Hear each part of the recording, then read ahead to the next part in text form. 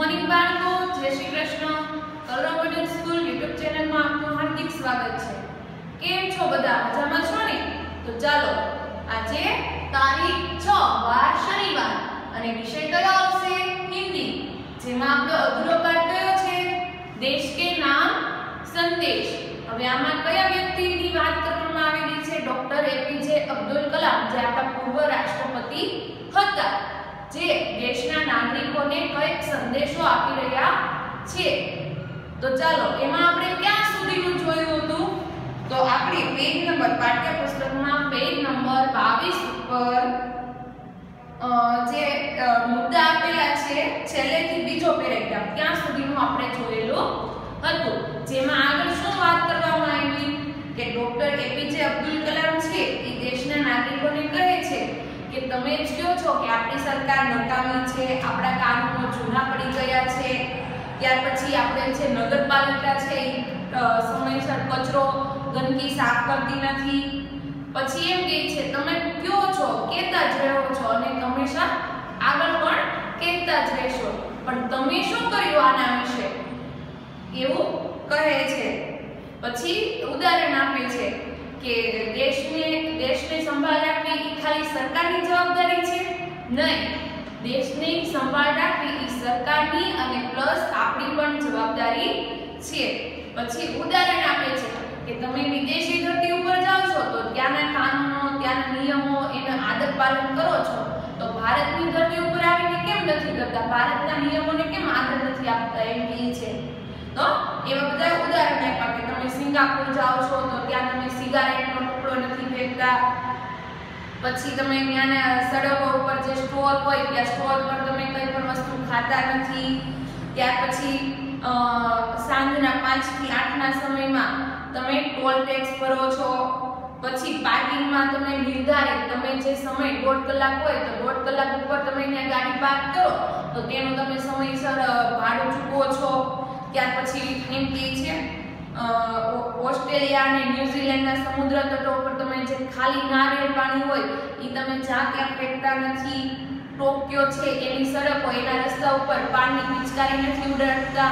ત્યાં કેમ નથી કહેતા કે હું ફલાણા ભાઈનો છોકરો છું, હું આનો છોકરો છું, હું પૈસા નહીં ભરું? કેમ? કારણ કે તમને ત્યાંના નિયમોનો ડર છે. તો સેમ વિદેશી ધરતીના જે નિયમો છે, એવા જ ભારતની ધરતી પર છે તો ભારતની ધરતી પર આવતા તમે એ નિયમોને કેમ અનુસરતા નથી? તો ચાલો હવે ત્યાં સુધીનું જોયું. હવે ડોક્ટર કલામ એમ કહે છે વચમાં, વચ્ચે એવું કહે છે કે હા એ કે હું તમારી જ વાત કરું છું. કોને કહે છે? નાગરિકોને કહે છે કે આ તમારી જ હું વાત કરું છું કે તમે કેવું આ આદર સોરી આ નિયમોનું પાલન કરો છો એવું કહે છે. તો ચાલો, પેજ નંબર 22 પર પહેલો પેરેગ્રાફ डॉक्टर कलाम कहते हैं आप दूसरे देशों की व्यवस्था का आदर पालन कर सकते हैं लेकिन अपनी व्यवस्था का नहीं ડોક્ટર કલામ કહે છે જે એપીજે અબ્દુલ કલામ કહે છે કે તમે બીજા દેશના જે નિયમો છે જે એની વ્યવસ્થા છે એનું તમે આદર કરો છો એનું પાલન કરો છો તો પોતાની વ્યવસ્થા તમે જે દેશમાં રહો છો એની વ્યવસ્થાનું આદર પાલન કેમ નથી કરતા भारत के धरती पर कदम रखते ही आप सिगरेट का टुकड़ा जहां तहां फेंकते हैं ભારતની ધરતી ઉપર તમે જેવો જ પગ મૂકો છો એવા જ તમે સિગરેટનો જે ટુકડો છે એ રસ્તા પર ગમે ત્યાં ફેંકી ફેંકી દો છો કાગજ કે પુરજે ઉછાલતે હે કાગજના ટુકડા હોય છે એને તમે અ, ચારે બાજુ ઉછાળો છો આ બાજુ નાખો આ બાજુ નાખો એવું કરવાનું નહીં यदि आप पराये देश में प्रशंसनीय नागरिक हो सकते हैं तो यहाँ भारत में आप ऐसा क्यों नहीं बन सकते જો તમે વિદેશી ધરતી ઉપર જઈને ત્યાંના નિયમોનું પાલન આદર કરીને તમે ત્યાંના પ્રશંસનીય વ્યક્તિ બની શકો છો તો ભારતમાં પણ એવું કરો ને એવું કહે છે डॉक्टर कलाम ने मुंबई के पूर्व महानगर पालिका आयुक्त टीना करके हवाले से कहा अमीर लोग अपने कुत्ते को सड़कों पर घुमाने निकलते हैं और जहां तहां गंदगी बिखेर कर जा, आ, आ जाते हैं और फिर वही लोग सड़कों पर गंदगी के लिए प्रशासन पर दोष मढ़ते हैं હવે ડોક્ટર કલામ છે એ મુંબઈના જે પૂર્વ મહાનગરપાલિકાના જે કમિશનર છે જેનું નામ છે તિનાઈકર એને સંબોધીને કહે છે કે અમીર લોકો જે પૈસાવાળા લોકો છે જે પોતાના કૂતરા છે એને રસ્તા ઉપર લઈ જાય છે અને જ્યાં ને જ્યાં ને ત્યાં ગંદકી ફેલાવે છે અને ત્યાર પછી એ જ પૈસાવાળા લોકો એમ કહે છે કે આપણું જે પ્રશાસન છે, આપણી જે મહાનગરપાલિકા છે, એ આ ગંદકી સાફ કરતી નથી. જોયું તમે આમાં? અમીર લોકો છે, એ જ ગંદકી ફેલાવે છે અને પાછા મહાનગરપાલિકા જે પ્રશાસન છે, એનો જ ભાગ કાઢે છે કે આપણી મહાનગરપાલિકા, આપણું પ્રશાસન, આપણી સરકાર સમયસર ગંદકી સાફ કરતી નથી તો આમાં ભૂલ કોની છે એ પૈસાવાળા જે અમીર લોકો છે એની જ છે ગંદકી કોણે ફેલાવી એને જ ફેલાવી અને પાછો ભાગ કોનો કાઢ્યો પ્રશાસનનો આ બધું કોણ કહે છે ડોક્ટર કલામ કહે છે क्या वे उम्मीद करते हैं कि वे जब भी बाहर निकलेंगे तो एक अधिकारी झाड़ू लेकर उनके पीछे पीछे चलेगा और जब उनके कुत्ते का हाजर लगेगी तो वह एक कटोरा उसके पीछे लगाएगा ઈ અમીર લોકો છે, ઈ એવું અનુભવે છે કે અમે ઈ એવું ઈચ્છે છે કે અમે જ્યારે બહાર નીકળીએ, ત્યારે કોઈ એક અધિકારી ઝાડુ એટલે કે પોતું લઈને અમારી પાછળ પાછળ ફરશે અને અમારા પુત્રો જ્યાં મળનો નિકાલ કરશે, હાજત કરશે, ત્યાં ઈ એક કટોરો લઈને બેસશે. ઈ વસ્તુ ખોટી છે. આવી રીતના ક્યાંય કોઈ પણ જગ્યાએ જાહેર જગ્યા પર આવી રીતના ગંદકી ફેલાવવી જોઈએ. નહીં અમે લોકો એવું ઈચ્છે છે કે અમે જ્યારે બહાર નીકળીએ ત્યારે કોઈ એક અધિકારી અમારી સાથે સાથે ફરવો જોઈએ અને અમારો જે પુત્રો ગંદકી ફેલાવે એને ઈ સાફ કરે એવું ઈ ઈચ્છે છે राष्ट्रपति ने मिसाल दी कि अमेरिका और जापान में कुत्ते के मालिक को उसकी छोड़ी हुई गंदगी साफ करनी पड़ती है આપણા ભારતની વાત જોઈએ કે આપણા ભારતમાં જે અમીર લોકો છે એ પોતાના કૂતરાને રસ્તા ઉપર ગમે ત્યાં હાજર કરાવે છે પણ, અને પાછા એ આપણા ભારતના લોકો એવું ઈચ્છે છે કે ઈ ગંદકી પાછી કોણ સાફ કરે? સરકારી લોકો જે કર્મચારી છે, જે કાર્યકર છે, ઈ સાફ કરે. પણ સાથે એને ઉદાહરણ આપ્યું કે અમેરિકામાં અને જાપાનમાં જો કોઈ કૂતરો રસ્તા ઉપર હાજર કરે, તો ઈ ગંદકી છે, ઈ સાફ કોને કરવાની? ઈ જે કૂતરાના માલિક છે, એમને સાફ કરવાની. જો એ નિયમ આપણે ભારતમાં લાગુ પડે, તો સારું પડે એવું અહીંયા राष्ट्रपति ઈચ્છે છે फिर शासन व्यवस्था के बारे में डॉक्टर कलाम ने कहा कि हम सरकार चुनने के लिए वोट डालने जाते हैं और अपनी सारी जिम्मेदारियां भी वहां उलटाते हैं પછી ડોક્ટર કલામ છે એ શાસન વ્યવસ્થા વિશે કહે છે કે જ્યારે ચૂંટણી આવે છે જ્યારે આપણે સરકાર પસંદ કરવાની છે ત્યારે આપણે શું કરીએ છીએ તો ત્યારે આપણે વોટ આપવા એટલે કે મત આપીએ છીએ અને મત આપવા જઈએ એટલે આપણી બધી જ જવાબદારી આપણી જે દેશને લગતી જેટલી જવાબદારી બની છે એ બધી જ જવાબદારી આપણે સરકાર ઉપર નાખીને ચાલ્યા આવે આવીએ છીએ કે આપણું કામ પણ કોણ કરશે સરકાર કરશે એ વસ્તુ ખોટી પડે છે हम आराम से बैठकर सोच सोचते हैं कि अब हमारे नाच नखरे उठाए जाएंगे આપણે મત આપવા જઈએ છીએ ને આપણી બધી જ જવાબદારી ત્યાં મૂકતા આવી- આ મૂકતા આવીએ છીએ સરકાર ઉપર અને અને આપણે એવું વિચારીએ છીએ કે હવે જે આપણા નાચ નખરા જે પણ આપણે કંઈ કરશું એ બધું સરકાર સહન કરશે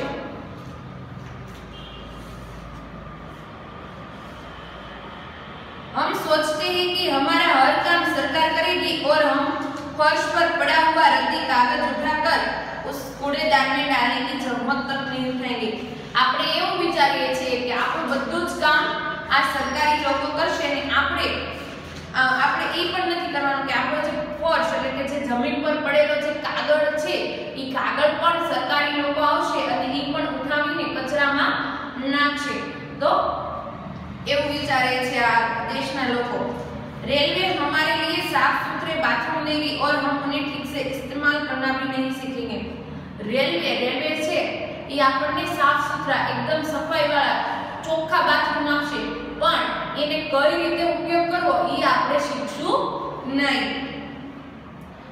ત્યાર પછી ડોક્ટર કલામ કહે છે સમાજ की ज्वलन समस्याओं पर भी हमारा ऐसा ही रवैया है हम ड्राइंग रूम से बैठकर दहेज के खिलाफ गला फाड़ते हैं और अपने घर में उसका उल्टा करते हैं પછી એમ કહે છે આ સિવાય આ તો અ, અ, સામાન્ય વાત કહેવાય પણ આ સિવાય જે સામાજિક વાતો છે એના ઉપર પણ ડોક્ટર કલાક કહે છે ઈ કે આપણે એમ કહીએ છીએ આપણે જે દીવાન ખંડ એટલે કે જે આપણો મેઇન રૂમ છે એ રૂમમાં બેસીને આપણે દહેજ જે છોકરીઓના લગ્ન થાય છે ત્યારે જે દહેજની પ્રોબ્લેમ જે સમસ્યા છે એના વિશે વાત કરીએ છીએ અને પાછા આપણા જ ઘરમાં એનું ઊંધું થતું હોય આપણા જે આપણા ઘરે જે વહુ આવી હોય એની પાસેથી આપણે દહેજ લીધું હોય અને બીજા સમક્ષ એમ બોલે કે દહેજ લેવો જોઈએ નહીં અને પાછા એવું બહાનું કાઢશે કે દેખીએ પૂરી વ્યવસ્થા ही ખરાબ है અને જો પૂરી આ આ આપણી સરકાર જે આપણા દેશમાં આ બધી વ્યવસ્થા છે એ જ ખરાબ છે अगर मैं अपनी बेटे की शादी में दहेज नहीं लूंगा तो इससे कौन सा बड़ा फर्क पड़ जाएगा પેલા એમ વાત કરે છે કે દહેજ લેવું એ એક ગુનો છે, એમ દહેજ લેવો જોઈએ નહીં. પણ પોતાના ઘરમાં જ ઉલટું હોય. પોતાના જ પુત્રની જે વહુ આવી હોય, એની પાસેથી જ પોતે દહેજ લીધું હોય. અને પાછા એમ કહે છે, આપણા દેશની વ્યવસ્થા જ ખરાબ છે. મેં મારા છોકરાના સસરા પાસેથી દહેજ લીધો. તો એમાં શું મોટી વાત છે? એમ કહે છે, એમાં શું એક ફરક પડી જશે તો પહેલાં એવી વાત કરવી જોઈએ नहीं राष्ट्रपति ने इस संदेश में पूछा इस व्यवस्था को बदलेगा कौन જે આ રાષ્ટ્રપતિ જે એપીજે અબ્દુલ કલામ છે એ સંદેશમાં એવું પૂછે છે કે આ બધી વ્યવસ્થા છે એને બદલશે કોણ यह व्यवस्था है किसकी આ વ્યવસ્થા છે કોની आप आसानी से कह देंगे व्यवस्था में शामिल है हमारे पड़ोसी आसपास के घर अन्य शहर अन्य समुदाय और सरकार આપણે આ આસાનીથી કહી દઈશું સરળતાથી કહી દઈશું કે આ વ્યવસ્થામાં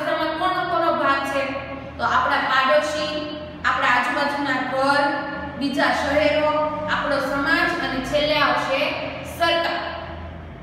લેકિન મેં ઓર આપ કરતે નહીં, પણ ક્યારેક પોતાનો હક તો કાઢશે જ નહીં. જ્યારે સરકારે સોરી જ્યારે એપીજે અબ્દુલ કલામે એમ કીધું કે આ વ્યવસ્થાને બદલશે કોણ? આ વ્યવસ્થા છે કોની? તો એમ કહે છે, મારા બાજુવાળા, મારા પાડોશી, બીજા શહેરો આપણા સમાજ અને છેલ્લે પાછું સરકારનો વાક કાઢશે. પણ પોતાનો વાક તો કાઢશે જ નહીં કે આ વ્યવસ્થાને બ- બગાડવા માટેનો બગાડવા પાછળનો હાથ પણ મારો છે એ રીતના जब कुछ अच्छा करने की हमारी बारी आती है तो हम अपने परिवार को सुरक्षित कवच में घेर लेते हैं જ્યારે કંઈક સારું કાર્ય કરવાની વારો આવે તો આપણા પરિવારને આપણે એક કવચમાં સુરક્ષા કવચમાં ઘેરી લઈએ છીએ दूसरे देशों की ओर निहारते हैं और इंतजार करते हैं कि कोई मिस्टर प्लेन आएगा अपने जादुई हाथों से चमत्कार करेगा और ऐसा नहीं होता तो आप देश छोड़कर ही चल देंगे પાછો આપણે એવું વિચારીએ છીએ કે કોઈ બીજા દેશથી આવશે જે આપણને મદદ કરશે અને જો નહીં આવે તો આપણે આ દેશ છોડીને ચાલ્યા ચાલ્યા જશું એવું વિચારે છે उन्होंने कहा हम अपने भय से भागकर अमेरिका जाएंगे उनके गौरव का गुणगान करेंगे व्यवस्था की प्रशंसा करेंगे और जब न्यूयॉर्क न्यूयॉर्क असुरक्षित हो जाएगा तो आप इंग्लैंड भाग जाएंगे પછી એમ કહે છે તમને તમારો દેશ સારો નહીં લાગે તો તમે આ દેશને ભારતને છોડીને બીજા દેશમાં જશો અમેરિકામાં જશો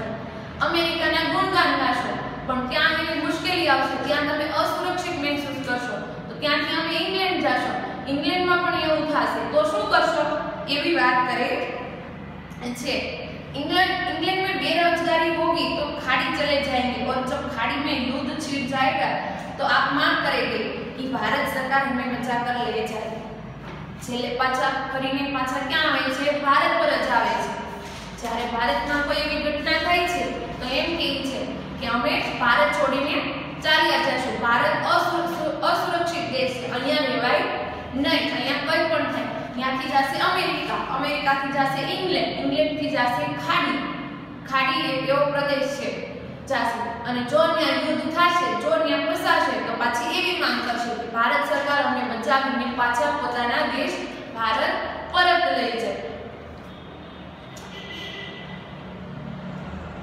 हर कोई देश को दाई- गाली देने को तैयार है पर व्यवस्था में सकारात्मक योगदान के बारे में नहीं सोचता બધા જ લોકો દેશને ગાળો દેવામાં ગાળો દેવાનું વિચારે છે પણ એની વ્યવસ્થામાં કોઈ યોગદાન આપતું નથી એની એની જે વ્યવસ્થા છે દેશને લગતા જે સરકાર કાર્ય કરે છે એમાં કોઈ સકારાત્મક યોગદાન તો આપતું નથી ગાળો દેવામાં તો તૈયાર છે क्या हमने अपनी आत्मा को पैसे के हाथों अ, हाथों गिरवी रख दिया है डॉक्टर कलाम व्यवस्था में नागरिकों के सकारात्मक योगदान के लिए देशवासियों को झकझोर देते हैं श्रेष्ठ नागरिक बनने की शुरुआत करने की अपील करते हुए संदेश में कहा गया है कि आप अगर आप वाकई इस संदेश से सहमत हो तो इसे अपने 10 और साथियों को ईमेल से भेजिए હવે અહીંયા ડોક્ટર કલામ એમ કહે છે કે તમે શું સાચે જ તમારી જે હાથ છે તમારી જે આત્મા છે એને તમે પૈસાની ગીરવે આપી દીધી છે